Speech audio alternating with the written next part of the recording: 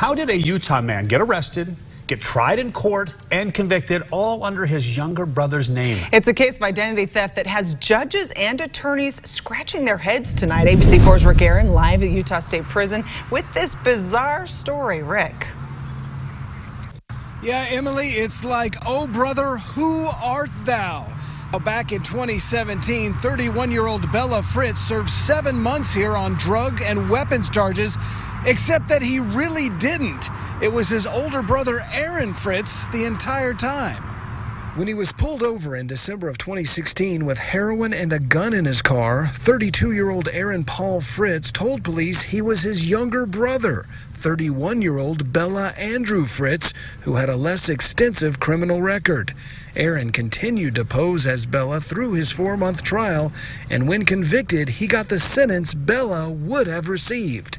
He served based on his brother's identity and criminal history, he served the sentence that he would have gotten had that been his actual criminal history. But it really infected the entire process with fraud.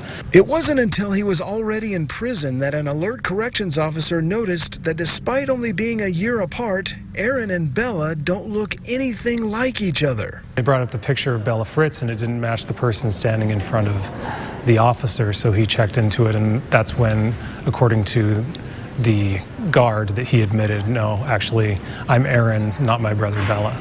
Now, the state attorney general's office is asking for a do over. They want the conviction overturned so they can try Aaron again, this time as himself, and also get justice for Bella. Now, his brother's record, because of his lie, showed convictions that he didn't have, things that he didn't do. So, in essence, an innocent person was convicted, and that was very concerning to the state, even though the person who was suffering the consequences was the person who did commit the crime.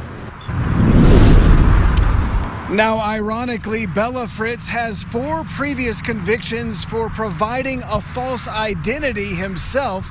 And apparently, this may be a Fritz family tradition. Today, the boy's grandmother told me that Aaron and Bella's father and uncle used to do the same sort of thing, pretending to be each other all the time.